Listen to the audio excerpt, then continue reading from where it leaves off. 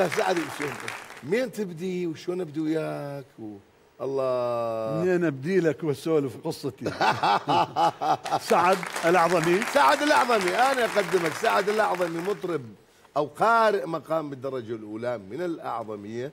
هذا الرجل ختم الكثير من الأشياء خاصة في ال- ال- ال- المولد النبوي القراءات الدينية المناقب.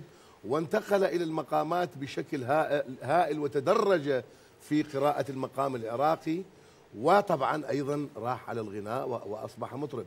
لأنه قارئ المقام ليس المطرب. المطرب شيء وقارئ المقام شيء آخر صح؟ صحيح.